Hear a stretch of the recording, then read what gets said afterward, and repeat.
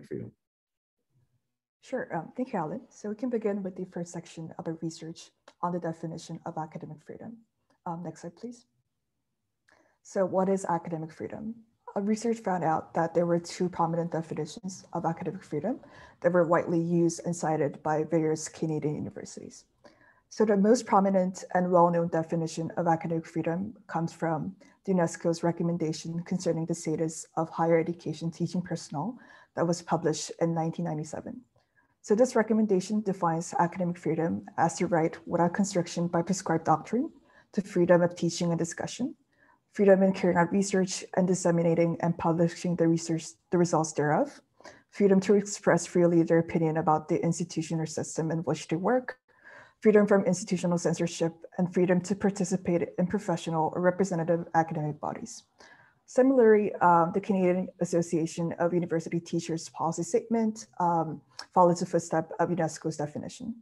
So um, they, re they reiterate the UNESCO's definition, as well as explicitly stating that all academic staff members have the right to academic freedom, and also that institutions have a positive obligation to defend the academic freedom rights of members.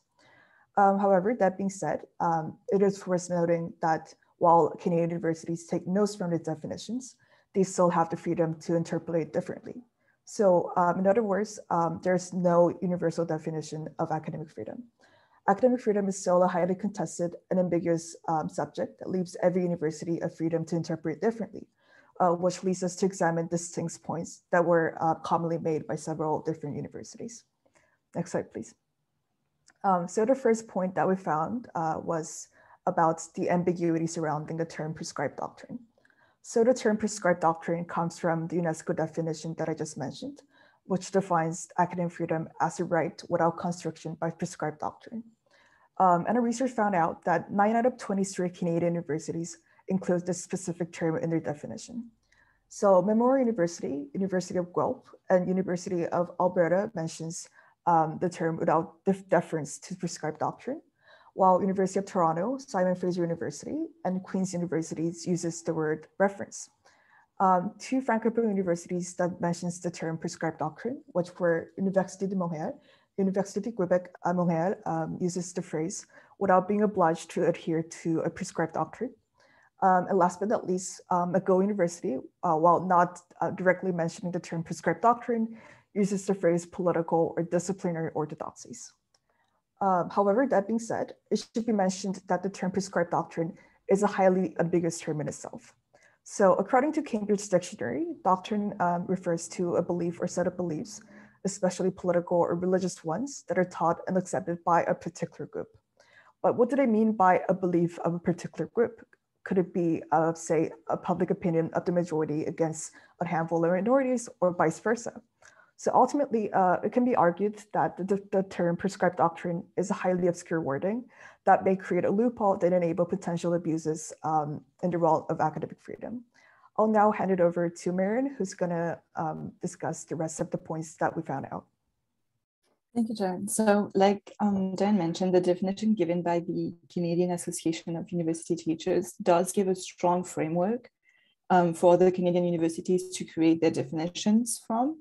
But we did see that the absence of an official signed document uh, gave a few universities a chance to put their kind of own spin to um, the definition by adding terms out of the ordinary framework in order to define academic freedom. Um, however, the lack of explanation or context given to these, these additions only leave us to infer what the intention of the university were and leaves, leaves a lot of room for the faculty and student body to give their own interpretations. Um, so for example, in the case of the Université Laval, uh, we saw that they added the right to discuss to their academic freedom definition. Um, so we like we questioned that a lot, and we were wondering if it's a valorization of individual academic freedom and freedom of expression over collective academic freedom, or can individual and collective rights work alongside each other in a respectful and mindful manner? It seems to grant individual rights to express opinions and also exchange ideas with others, However, the division did not set boundaries to that exchange. Um, for example, in the case of the University of Victoria and Simon Fraser Universities, University, sorry, um, they added the rights to challenge society. And again, many interrogations arise. So for example, what critique opinions or positionality are considered a challenge to society and under what criteria can one's voice be considered a challenge to society. Next slide, please. There was an interesting and unique case in the case of Université de Montréal, who defined academic freedom as a freedom that exists within values of inclusivity, diversity, and equity at a pluralistic university that is determined to fight discriminatory or hurtful behavior on its campus and in classrooms. It is one of a kind. It's the only university that like made a point to do that. Uh, it's pretty progressive and it uses an inter inter intersectional lens um, to define academic freedom. However, as it is as it is part of a practical guide meant to be implemented from now until 2023, we are still waiting to see how these values will be implemented in practice and in the classroom.